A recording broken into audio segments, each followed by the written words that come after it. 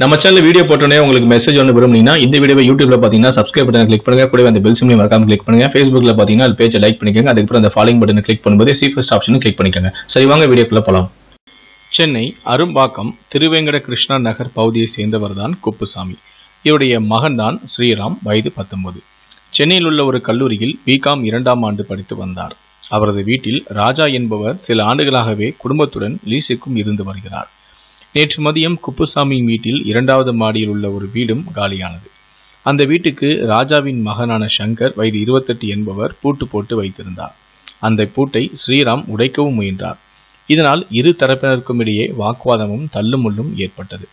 அந்த சமயத்தில் ராஜாவின் மனைவியும் சங்கரின் தாயுமான பானு வயது நாற்பத்தாறு என்பவர் தள்ளிவிட்டதில் இரண்டாவது மாடியிலிருந்து ஸ்ரீராம் கீழே விழுந்துள்ளார். இதில் தலையில் பலத்த காயம் ஏற்பட்டு இரத்த வெள்ளத்தில் உயிருக்கு போராடிய அவரை மீட்டு கீழ்ப்பாக்கம் அரசு மருத்துவமனையிலும் சேர்த்தனர். ஆனால் அங்கு சிகிச்சை பலனின்றி ஸ்ரீராம் பரிதாபமாக இறந்தார்.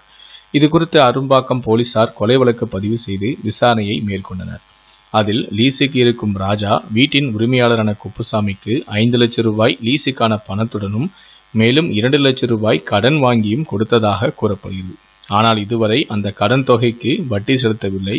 அசல் தொகையும் தரவில்லை என்பதால் தனக்கு பணம் கொடுக்கும் வரை அந்த வீட்டுக்கு யாருமே வாடகைக்கு வரக்கூடாது என்பதற்காக ராஜாவின் மகனான சங்கர் மாடியில் உள்ள வீட்டுக்கு பூட்டு போட்டு விட்டதாகவும் அந்த பூட்டை உடைக்கும் போது ஏற்பட்ட தகராறில் மாடியிலிருந்து தள்ளிவிட்டதில் ஸ்ரீராம் கீழே விழுந்து இறந்ததும் தெரிந்தது. இந்த சம்பவம் தொடர்பாக சங்கர் வயது இருபத்தெட்டு மற்றும் அவருடைய தாயான பானு வயது நாற்பத்தாறு ஆகிய இரண்டு பேரையுமே போலீசார் விசாரித்தும் வருகிறார்கள்.